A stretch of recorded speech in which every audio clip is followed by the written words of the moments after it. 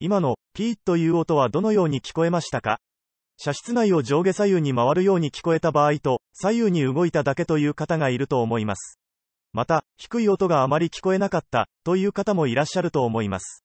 これは、定位がまとまらない場合の原因を特定するための動画です。まず、車室内を上下、左右に回るように聞こえた場合には、ツイーターとミッドバススピーカーの音がつながっていないことが原因かもしれません。次に、低い音があまり聞こえなかった方は、ドアのミッドバススピーカーの鳴りが、ツイーターに比べて弱い可能性があります。ミッドバススピーカーをもう少し鳴らしてみて、どのように聞こえるか再度お試しください。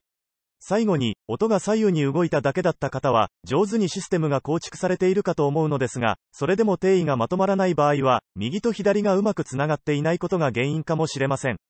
音がドアに張り付いていたり、ピラーに張り付いていたりするような場合には右と左の音がつながっていないことが原因である可能性が高いです。直接の解決策になるかはわからないのですが、カーオーディオの DIY に役立つことが発信できればと、5年以上書いているブログがあります。コンテンツの量も溜まってきています。情報収集の一環に、車、音、人の3文字で出てくるブログをご覧いただけますと幸いです。この YouTube では、なかなか他にはないような調整支援音源などを出していきますので、チャンネル登録をお願いいたします。